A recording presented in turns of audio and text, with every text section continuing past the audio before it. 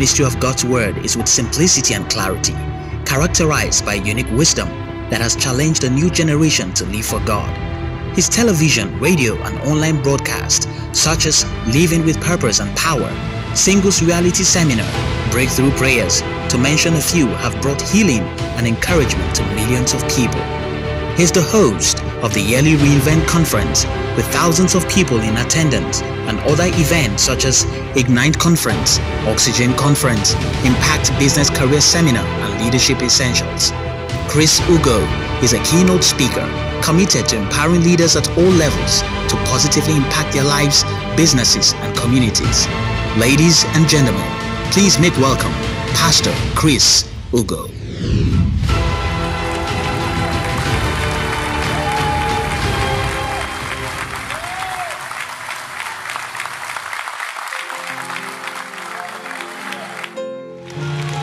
Let's give Jesus a big, big, big, big, big hand if you love the Lord. Hallelujah. Wow, wow. I like to say a big, big thank you to PG for this special invitation. You and Pastor B are very close to our heart. We love you. We love you. Thank you. Thank you for what you represent in the body of Christ. Thank you for your generosity. Thank you for your heart for the kingdom. Thank you for sowing into ministries. Your selfless approach to point to ministers in uh, whether it's in Lagos, um, outside this nation, River State, all the people your ministry has been reaching in River State, they can't stop talking about you. Thank you for you and Pastor B. Um, we, were, we were so blessed to have the presence of Pastor B in our church during our women's conference. You people are so blessed. I hope you know that. Thank you so much. Thank you. And I also like to thank you for this great opportunity to come share this weekend with you. We deeply appreciate this. Uh, Pastor Debo, you and the pastors and the entire team, we salute all the work everybody's doing.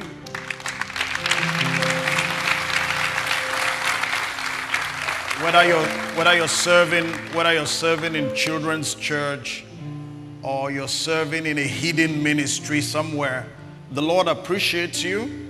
The kingdom is better because of you, and you can never lose your reward. Thank you for what you do for the kingdom.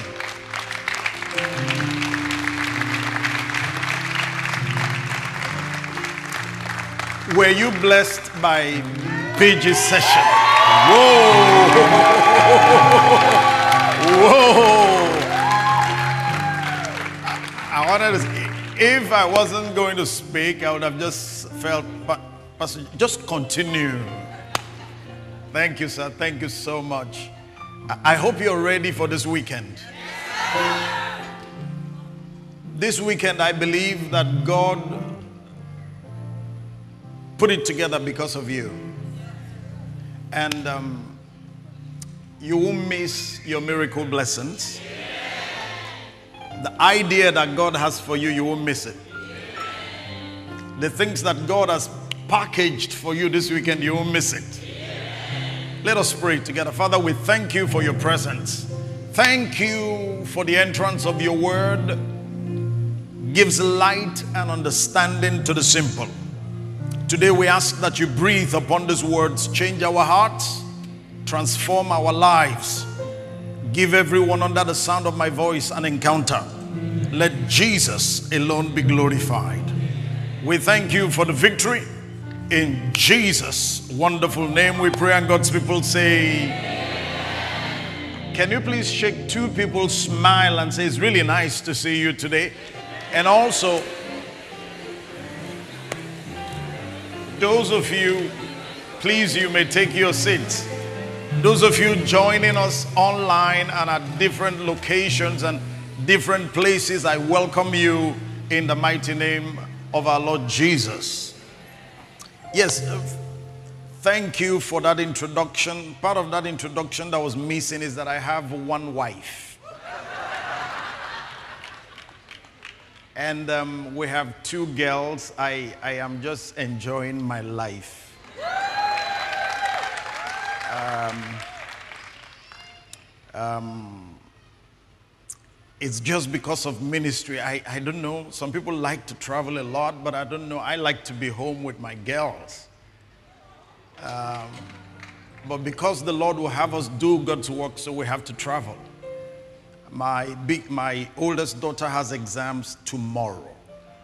And um, if not for the kingdom, there's no way I would have been here. But the Lord made it possible. Amen. Um, so, God, you know, I'm doing your work. She has to pass miraculously. Hallelujah. uh, by the way, she read before, you know. So it won't be bad if we trust God for her. Our exams will be supernatural. And every other person that has exams tomorrow, it will be supernatural. In Jesus' name. All right. Building wealth God's way. Building wealth God's way. Martin Luther King says, any religion that claims to be concerned about people without addressing the economic conditions that strangle them is a dry and useless religion. But Christianity is not useless is a loving relationship with God. We have a God that addressed not just our economic condition, but addressed our spiritual condition, addressed our emotional condition, addressed our relational condition, the total man. We have a God who is not just addressing our economic condition, but gave himself to die for our economic condition. He died to deal with poverty, spiritual death, and sickness. I believe that this weekend has been ordained by God to change your story. And I pray that the God that you serve will give you blessings. In Luke's Gospel, chapter 2, verse 52, the NIV says that Jesus grew in wisdom, in stature, and in favor with God and in favor with man. That's our God. It's not one sided, just purely economic. Yes, finance is good. But you see, wealth covers every other area wealth, emotionally, physically, financial, relational. That's what wealth is all about. It's good to have money, it's important you have money. But wealth is not just only money. So Jesus grew in wisdom, he grew in stature. So he paid attention to his mind. So he allowed his mind to develop. He used this mind like PG was sharing with us. He paid attention to his health. He didn't sacrifice his health on the altar of work and then get money, then try to fix his health. No, he didn't do that.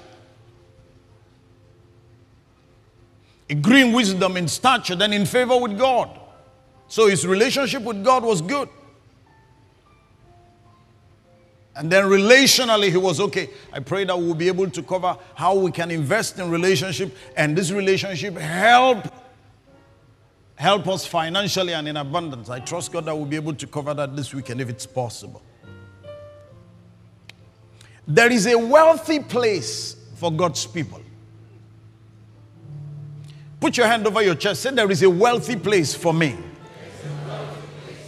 God has designed a wealthy place for me. My eyes are open. I will see my wealthy place. I will enter my wealthy place. I will enjoy my wealthy place. This is my season. I will not be distracted. There is a wealthy place for me. Hallelujah. So, a wealthy place is a particular state of abundance that God has promised His people in the Word that is necessary for you and I to be able to fulfill our purpose in blessing other people. We are so blessed, we're enjoying abundance, it is promised to us, we're going into overflow, and then we're using it to fulfill the purpose of blessing other people on this earth. So that wealth has a purpose. That blessing has a purpose. That state of abundance and overflow is for a reason. Not just for the fact of having things, but is having things so that through me, other people can also be blessed. Of course, there are many forms of wealth spiritual world, relational world, physical world, financially. God made man in his image and after his likeness, and then he blessed man and said, Be fruitful, multiply, replenish the earth, have dominion. Just like Pastor PG mentioned, PG mentioned to us. God made man in his image and after his likeness. And then God blessed man. He empowered man to prosper. He blessed man to be able to succeed. He blessed man to be able to do well. He empowered man to make a difference. So he created man, he blessed man, he empowered man, and if you read 29, he gave man seed. So, in other words, you have power, you have dominion, but you also have seed. So, anything you want to do, you have seed, you can use your seed to create it. You want a table? There's no table. There's a garden and there's tree. If you're creative enough, according to PG, you can in this garden create chair and table.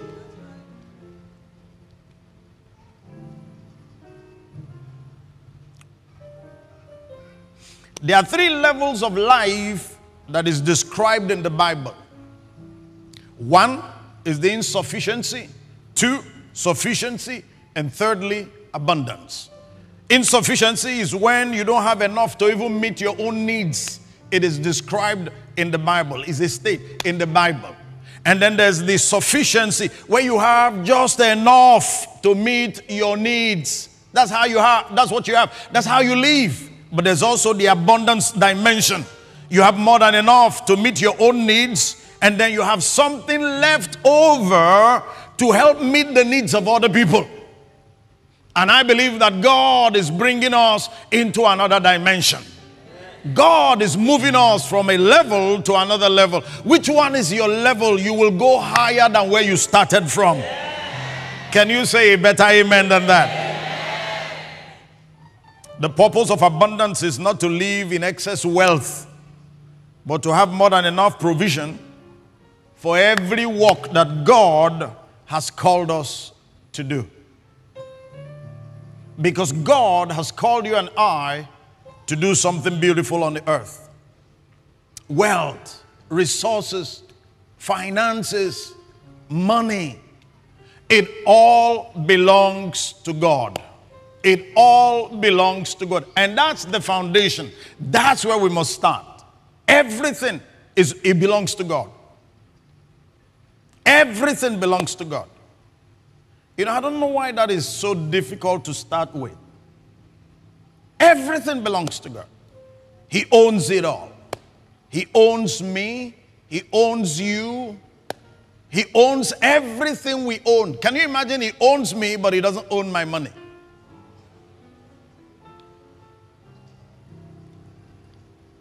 In Psalm 24, verse 1, he says, The, the earth is the Lord's and the full and its fullness, the world and those who dwell therein. So he owns it. He owns it as the creator. He owns me as the creator, but He also owns me as the redeemer. Even when I'm lost, He redeemed me back. So He owns me two ways. He owns me as my creator, but He also owns me as my redeemer. He says, Silver and gold, they belong to our God. Haggai chapter 2, verse 8. He said, The silver is mine, the gold is mine, says the Lord of hosts. Silver is mine, gold is mine. You know, and I want to commend you for this weekend because not it's not everywhere that people are bold enough to expose their congregation to listen to what God has to say about abundance, what God has to say about wealth, what God has to say about relationship, what God has to say about spiritual wealth. But I celebrate your devotion, your commitment to truth, and your courage and boldness. Let's celebrate the leadership of this house. I say, let us celebrate the leadership of this house.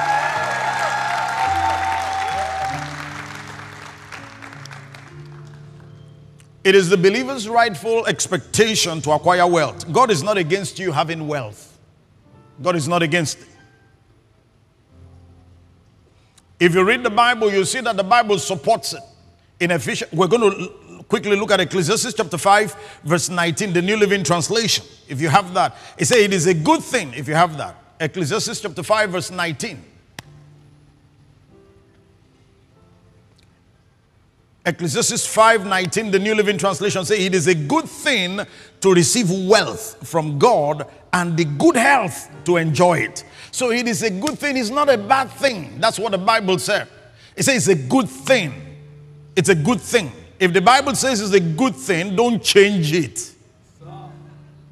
It is a good thing to receive wealth from God. So we see that wealth comes from God. So he says it's a good thing to receive wealth from God and the good health to enjoy it. Don't take one and leave the other. You say, I just love it. I only have good health. Are you going to eat it? I only just thank God I just have the money. What of your health?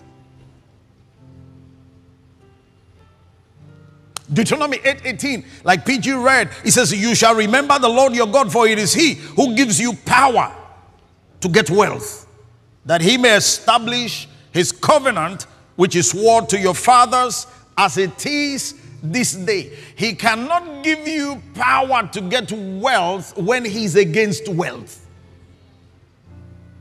So, we must have a foundation where our mindset is transformed we are renewing or renewed our mind to accept that God is not against wealth.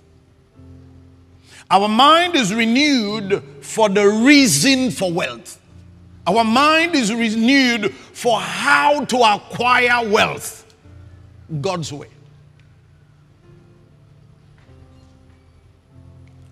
Psalm 112, verse 1 to verse 3. He said, Praise the Lord, blessed. Everybody say, blessed.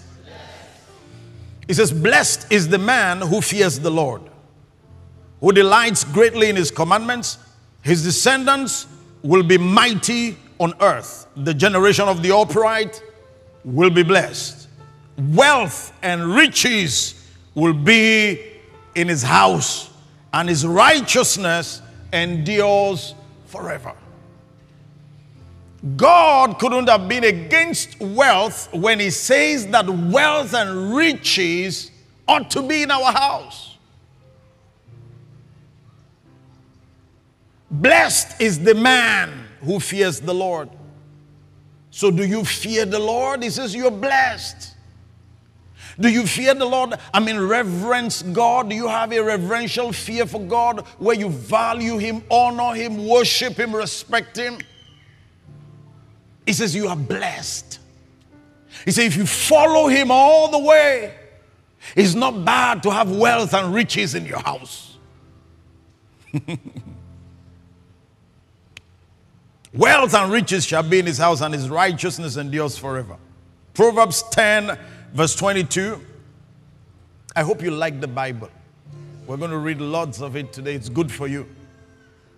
Take a lot of it at night, in the morning, afternoon, and evening time. It works. Proverbs 10 22, the amplified version of the Bible, the classic. He said, The blessing of the Lord, it makes truly rich, and he adds no sorrow with it, neither does toiling increase it. He says, The blessing of the Lord is the blessing of the Lord that makes rich and he adds no sorrow. So if God is against wealth, if God doesn't want us to have wealth, if he doesn't want us to have abundance, if he doesn't want his people to be blessed, why would he have all this in his word, in his sacred word? Are you not aware that this word is sacred? Second Corinthians chapter 8, verse 9. Second Corinthians 8, verse 9, the New Living Translation. It says, You know the generous grace of our Lord Jesus Christ. Though he was rich, yet for your sakes he became poor, so that by his poverty he could make you rich. And a lot of people have changed that. They say he's rich in a different area. Rich in this. They explain whatever they want to explain. Read the entire chapter. It's talking about money, it's talking about finances. It's talking about giving. It's talking about generosity. It's talking about the things they have to put together. The verse before that, the verse after that, the beginning, everything is talking about collection. Everything is talking about money. But you must understand the word rich. You know, if you're, if you're, if you're coming from River State, uh, we put it like this I get money past my neighbor. That's not what we're talking about. Rich is the word to be abundantly supplied.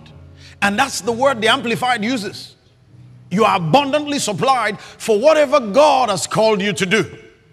You are abundantly supplied for whatever is needed per time. And there are lots of things that God is going to need from you that money cannot be able to pay for. As much as money is needed. Our covenant connection with Abraham through Jesus makes life better. We have a connection by covenant with Abraham through our Lord Jesus. So now we're joint heirs with Jesus for Abraham's blessing. Now, I understand a lot of people know the song, Abraham's blessings are mine, Abraham's blessings are mine. You know, but they don't really understand or have information, like Pedro was talking about information have the information, get the word about Abraham. So quickly, because of um, this is a teaching weekend, it's important. In Genesis 12, verse 1 to verse 4, he said, Now the Lord had said to Abraham, Get out of your country, from your family, and from your father's house to a land that I will show you. I'll make you a great nation, and I'll bless you and make your name great, and you shall be a blessing. I will bless those who bless you, and I'll curse him who curses you.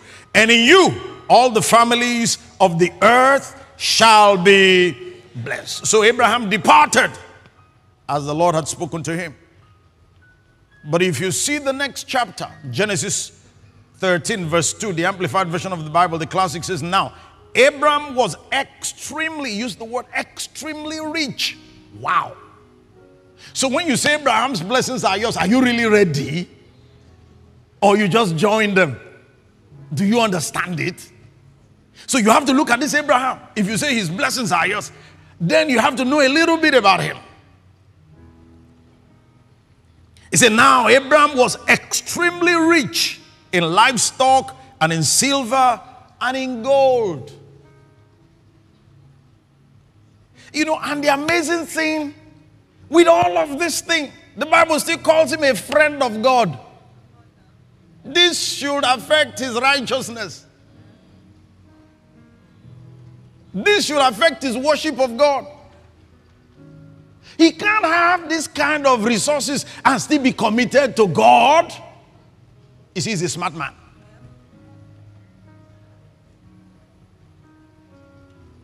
Some people just let resources take them away from God, take them away from church. I'm going to come to that before we close tonight, God helping us. If you also look at Genesis 24, verse 1, the amplified version of the Bible, the classic says, Now, Abram, this man was so blessed, he was extremely rich in cattle, in livestock, in silver, in gold. But look at Genesis 24, verse 1. Now, Abraham was old, well advanced in years, and the Lord had blessed Abraham in all things. So, God not only gave him resources, but God gave him long life. So, when you're talking of Abraham's blessings are yours, understand and open your heart, release your faith for long life.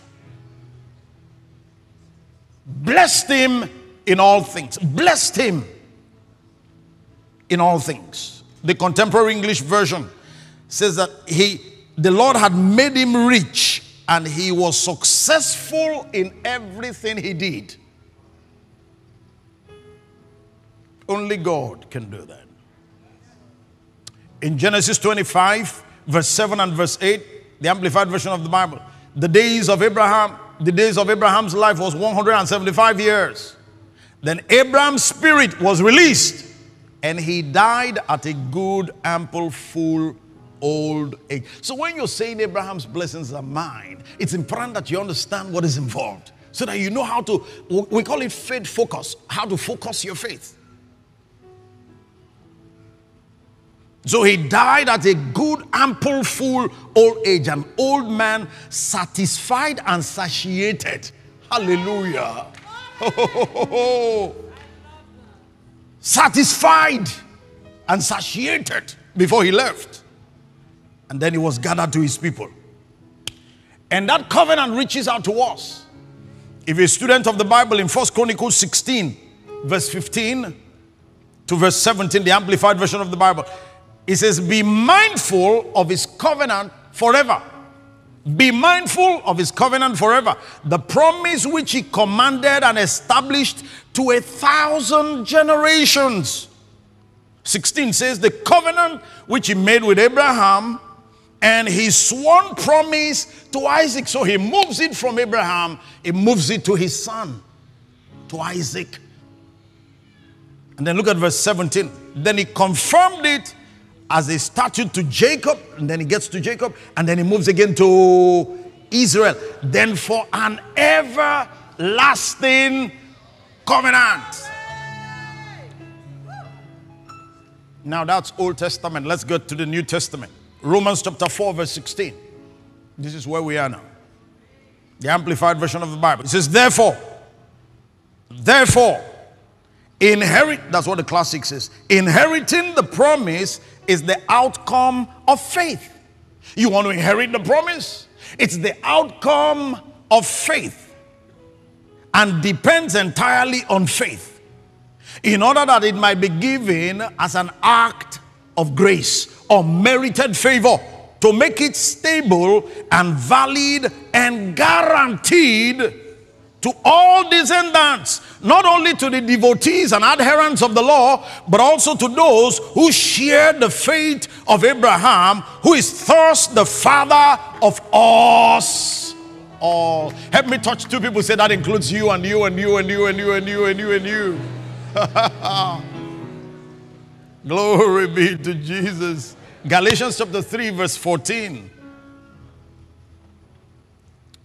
And then we read 29, New Living Translation puts it like this it says, Through Christ Jesus, God has blessed the Gentiles with the same blessing he promised to Abraham, so that we who are believers might receive the promised Holy Spirit through faith. Then look at 29. Now, and now that you belong to Christ, you are the true children of Abraham. You are his heirs. And God's promise to Abraham belongs to you. Somebody celebrate that today. Celebrate that today. Somebody celebrate that today. God's promise to Abraham belongs to you. Hallelujah.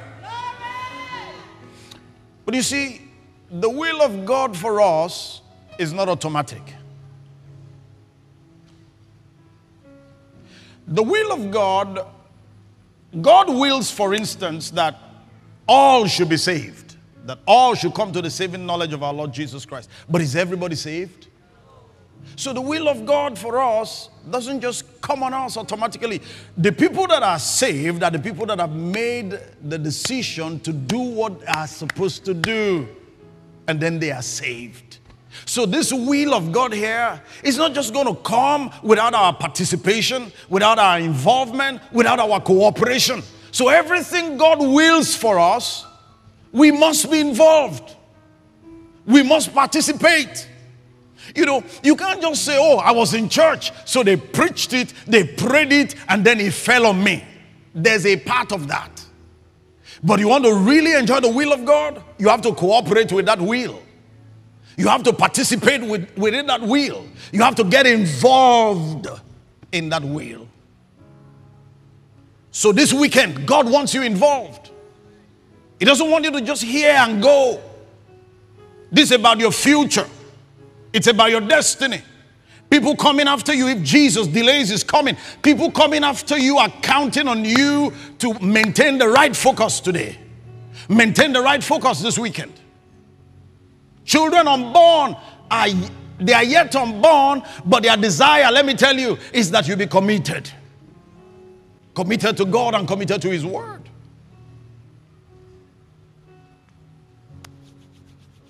It is God that gives us the power to get wealth.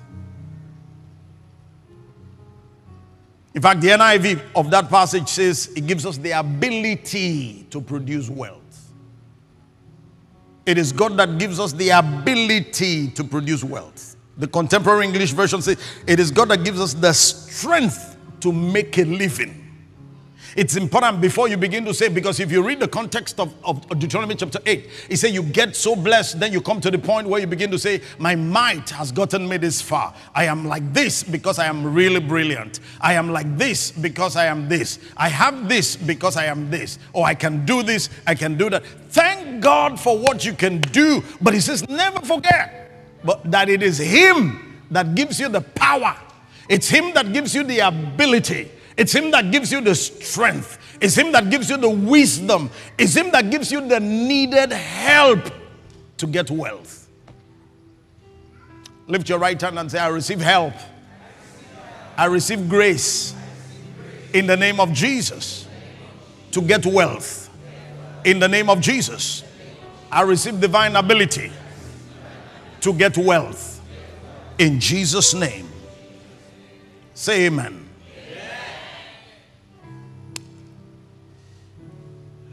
Genesis 12, verse 2, the Amplified Version of the Bible says, I will make of you a great nation. This is what God told Abraham. I'll make of you a great nation and I will bless you. The Amplified says, I will bless you with abundant increase of favors and make your name famous and distinguished. And you will be a blessing, dispensing good to others. That's the purpose of wealth, of blessing. We are blessed to be a blessing. Oh no, I just want to be blessed. I just want to be blessed. No, no, no. You are blessed to be so that you can be able to dispense favor to others. You are most fulfilled in life when you are benefiting somebody else. No fruit can enjoy itself no fruit. It is when you eat mango, you smile. Mango can't eat itself and smile.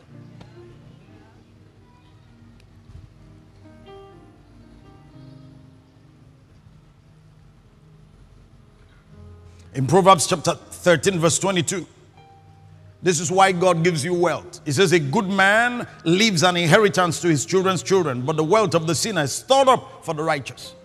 A good man leaves an inheritance for his children's children. That's how the Jews live. So they, they talk about generational blessing. You know, generational curses are very popular, but generational blessings are not popular. And yet, that's where we should be focusing on. Generational blessing. So a good man, that's why that's why God wants to give you resources. So that you can leave an inheritance, not leave debts, busy. Leave an inheritance for your children's children. The Jews, the way they do is you leave, so like now, what you are gathering together huh, is not for your own children, it's for your children's children.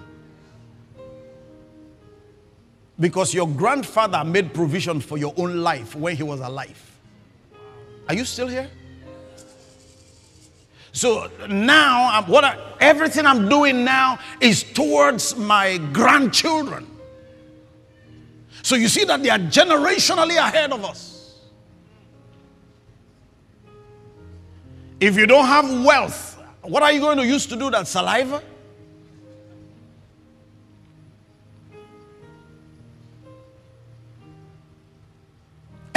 Everybody in the community hates a man that leaves debt for his family. Even during his burial, burial, people are not happy, they want their money.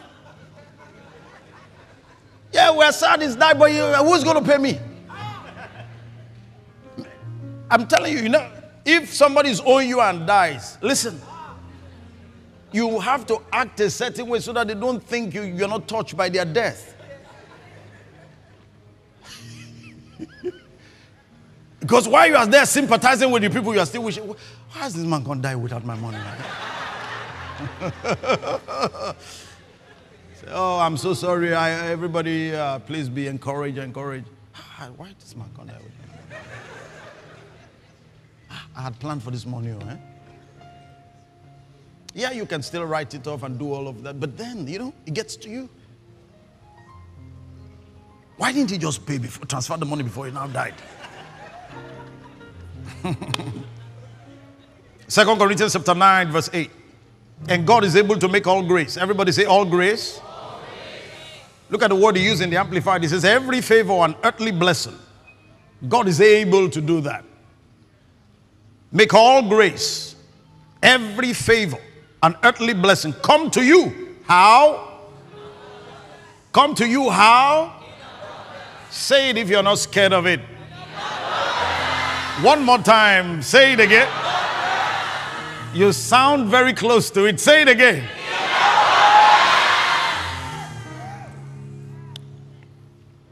Hallelujah.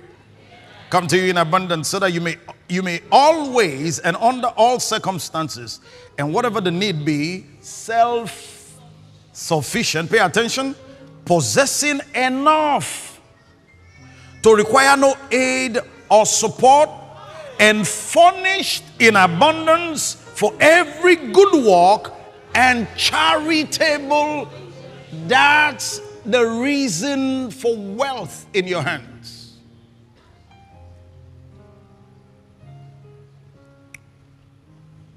Without wealth without purpose leads to materialism. When wealth doesn't have a purpose, when you don't give wealth a purpose, it leads us away, it leads to materialism.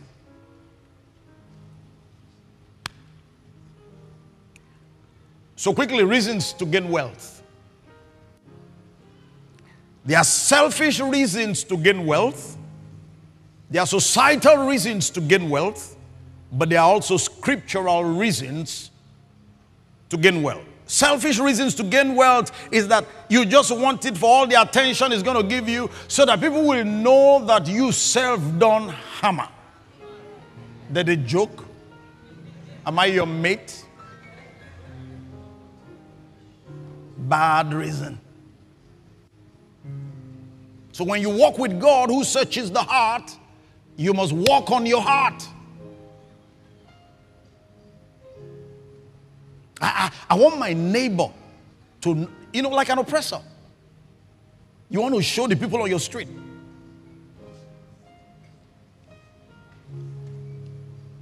And amazingly, we're supposed to be Christians, but we want to pepper people. Bad reasons. You know, if you live around where I come from, So they gather, people just walk so hard from January till about November, December, and then December they go to the village. I don't know if they do it here, if, if people from this church get to do it, but in, in our place, they, they get to do that. So they, they buy all kinds of things to go and show people that their community have somebody. and give themselves also unnecessary exposure and lure enemies.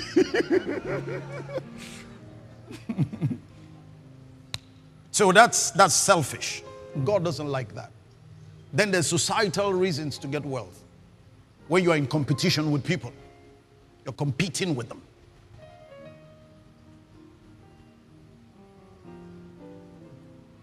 They bought, they bought in a, a version, you bought a higher version. Or you are saving up to buy a higher version to show them. And social media has not helped it, bro. Especially Instagram. We thank God for Instagram. It's beautiful. People use it for business. People use it for several other things. But the influence of some of these sites, uh, even TikTok, some of these things, the influence they have had, the negative influence has been so terrible. So you want to show your colleagues in the office. You want to show your neighbors. You want to show people in the church. That's wrong. But there's scriptural reason to gain wealth, which is one, for God's glory because God made all things to serve his purpose. And whatever we do, we must do for the glory of God. Say amen. amen. Another reason, scriptural reason to gain wealth is to further his kingdom work on earth. To further his kingdom work on earth. Next, to provide for your family. To provide, because anybody, he said, anybody that doesn't provide for their family is worse than an infidel to provide for your own family. Next, to pay your debts and commitments and not run away. Tell them I'm not around. My daddy said I should tell you he's not around.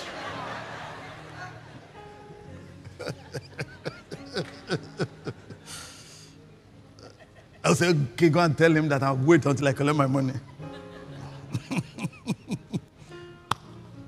To help better other people's lives, especially those in the household of God. That's another scriptural reason God wants you to have wealth. Especially those of the household of faith. There are people that come to church that need our care and our support. They worship under the same roof with us. They lift up their hands, but their own story is different. If they tell you their story, you start crying. We don't even know how they get to church. We don't know how they go home. We don't know what happens to them after service, what happens to them that day, that week, what happens to their children. They're in the church. How do you do? You can't do that if you don't have wealth. God cannot give you such a responsibility to use your sweat to deal with it. And next, to be a blessing to humanity. He wants you to, to be a blessing to humanity. You know, something very profound I read in Matthew 25 from 35 to 40. When you get home, please read it. And Jesus was talking about this, and he was talking about, you know, he said, when I was when I was incarcerated, you came to visit me. When I was hungry, you fed me. When I was thirsty, you gave me to drink. Uh, they said, Lord, when did we see you in prison? When did we see you naked? When did we see you hungry? And fed you? When did we see you thirsty and give you to drink? he said, When you do it for this, any of these ones, you've done it unto me. Listen, you can't do that. You can't clothe him without money. You can't give him anything to drink without money. You can you can do it without wealth. That's why you ought to have wealth. everything Jesus has everything is asked you to do in terms of taking care of people requires wealth. So don't, shut, don't have a mental shutdown when it comes to creating wealth or acquiring wealth, but channel it so that you can have a purpose and you do it well. Say amen. Margaret Thatcher has a quote. It says, No one will remember the Good Samaritan if you only had good intentions. He had money too. He said, Take care of this wounded man. Eh? Take care. Take care. Take care. I've been thinking about how to take care of this man. Oh. It will be a good thing to take care of this man. Oh. You know, I will, I will change people. I will change this man's life. Oh. Eh? But you see the, the thing the man dropped there. He gave, he put something there. He said, if you spend more, when I come, I will take care of it.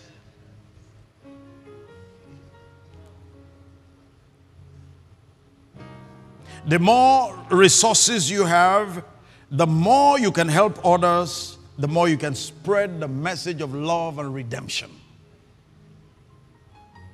So don't shut down. Especially, especially those of us that are gifted to create. You see, because we're not gifted alike.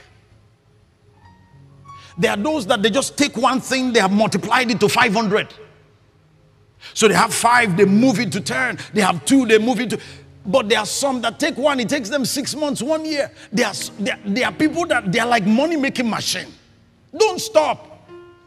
Say, oh, I already have a house. Get another house so that we can look for a sister that doesn't have anything and come to service. And PG will say, A brother met me before, before the service started and gave me the key to this house. Sister, you told me last week you people are suffering concerning accommodation. Can you just come close here? And then he takes the key of the house and say, May the Lord bless you. Now, apart from the other things the ministry is already doing, can you imagine we doing that times two? If we cover times two, times three, we never stop because there's still so much to do.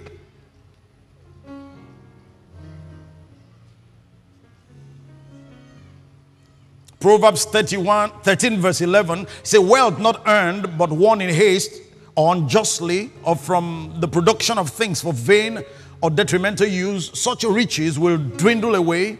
But he who gathers little by little will increase in riches. There's a righteous way to obtain wealth, and that's what the child of God must focus on. If we have the time, we're going to mention a few of them this weekend. Make sure you don't miss any of the sessions. So, wealth will flow into my life through these channels. Number one, quickly, through walking. You know, I'm walking. As I walk, wealth comes into my life because I'm walking. It says in Ecclesiastes 9:10, it says, whatever you do, whatever you find your hand finds to do, do it with all your might. Wealth will flow into your life through gifts. People will give you gifts. Gifts. Luke's Gospel, chapter 6, verse 38, the Amplified puts it like this It says, Give and gifts will be given to you good measure, pressed down, shaken together, running over, will they pour into your pouch, formed by bosom of your robe, used as a bag. For with the measure you deal out, with the measure you use, when you confer benefits on others, it will be measured back to you. Wealth will also flow to you through what we call inheritances. So you inherited it. Inheritances. My late father left some things for us. So we got it and we enjoyed it. In Genesis 25, verse 5, the New Living Translation, it puts it like this: says, Abraham gave everything he owned to his son Isaac. So that's how wealth comes, also. You see, but some of our parents, they gave us debt. We inherited the wrong things. But bless God, some, some did so well. They allowed us to inherit their good name, inherit uh, education, inherit. If you're here today and your parents were such a huge blessing to you, lift your hands and just give thanks for your parents. Whether you're online or you're joining us in any of the expressions, take a moment, lift your hands and be grateful for your parents and thank God. Can you say a prayer for your parents? Because they left good things for you and your siblings. They sacrificed even if it's not your parents, but your guardian, take a moment and give thanks. Hallelujah. In Jesus' name. So, wealth also flows to you through investments. Investments. Investments. As you invest, wealth comes. We're going to expand on that this weekend. Wealth also comes to you through different compensations. So you're just compensated. Some people think it's unbiblical to be compensated or to, to not to receive compensations. No, it's scripture. Exodus 21, verse 18 and 19. The New Living Translation says, Now suppose two men quarrel and one hits the other with a stone or fist and injured the person, and the injured person does not die, but is confined to bed. If he is later able to walk outside again, even with a crutch, the assailant will not be punished, but must compensate. Everybody say compensate. Yes. Must compensate his victim for lost wages and provide for his full recovery. So when they do that from your office, do that in your community, do that somewhere else, open your hands and receive that. Because that's part of how God is going to bring wealth to you through different kinds of compensations. And another way God will bring wealth to you is through favor. God will cause men and they will be divinely motivated to use their position, influence, resources, and the ability, and they will assist you. Can you say amen? Another way God will bring wealth to you is through your abilities. Through your abilities. The things you have, the things you have that God has blessed you with. You are using it, you are engaging it. And in return, wealth is coming to you. There are a few things you have to remember about money as we close. One, money is a tool. It's a tool. You use it to get what, what you want done. You can use it to get love. You can use money as a tool to send people to school. Next, don't fall in love with money. Don't fall in love with money. Let me say it louder. Don't fall in. Contemporary English Version, Hebrews 13, verse 5. Contemporary English Version, the A part says, Don't fall in love with money. Don't fall in love with money. Fall in love with God. You see, because when you fall in love with money, it can make you desperate. You can do strange things for money. Next, don't measure your worth by your money. Never you measure your worth by your money. Don't measure your worth by your money. You're valuable before God. You are forgiven, you're loved, you're accepted. Don't measure, you know, when I have money, I'm really somebody. And that's how some people do it. Don't measure your worth by don't compromise, don't compromise your values to get money. Ah, look, any, anyhow. No, don't do that. Help me look at two people beside you. Say, bro, sister, don't do that. Just shake your head. Say, don't do that. Don't do that. Don't do that. Don't do that. Don't do that. Yeah, I know some will do anything for money, but don't join them. Don't measure other people's worth by your own money too. Oh, I have more than them. Who will be? If I'm talking, when people like us are talking, you should keep quiet and listen. Point of correction. How much do you have? Stop saying that, stop doing that, and stop encouraging people that do that. Don't allow money take priority over the things of God. The things of God must be the things of God.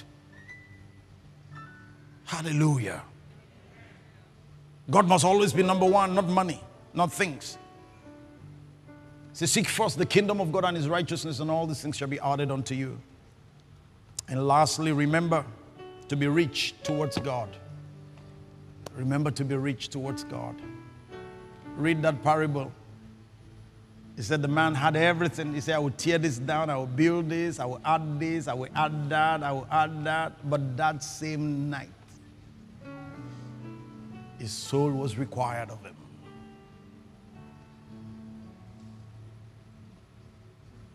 He said, That's the way the life of somebody that has all these things, but he wasn't rich towards God. Say with me in Jesus' name I receive grace, I receive ability to make wealth for God's glory. I declare today, I make wealth Bible way.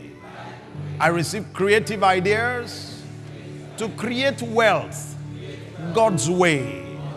I see things that others are not seeing, I hear things that others are not hearing. My eyes are open by the power of the Holy Spirit.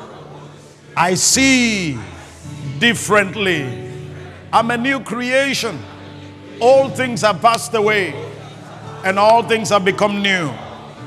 Increase comes to me, abundance comes to me, resources comes to me in the name of Jesus. Can you please stand on your feet as we declare in Jesus' name? Say with me, say in Jesus' name. I declare from today, I am favored by God. I am anointed by God.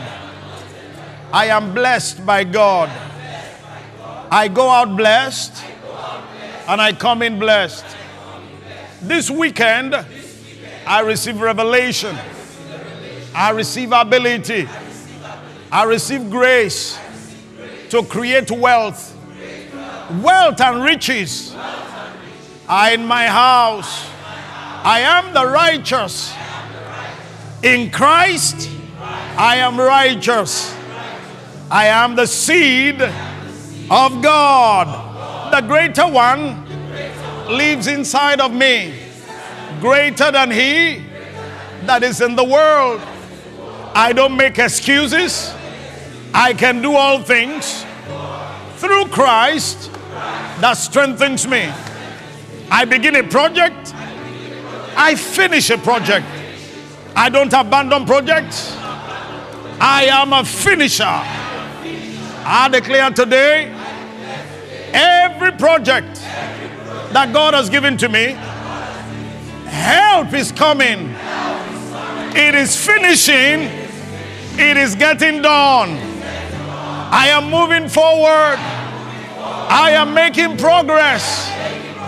In the name of Jesus, I am unstoppable. Shout it, let the devil hear you. I am unstoppable. One more time, I am unstoppable.